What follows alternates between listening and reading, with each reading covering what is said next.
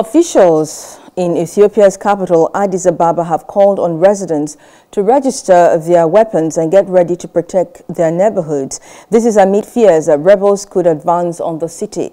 The appeal came days after the Tigray People's Liberation Front claimed it had captured two cities about 400 kilometers from Addis Ababa.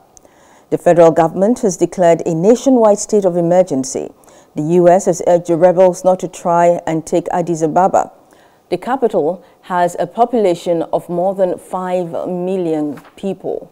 Hello. Hope you enjoyed the news. Please do subscribe to our YouTube channel and don't forget to hit the notification button so you get notified about fresh news updates.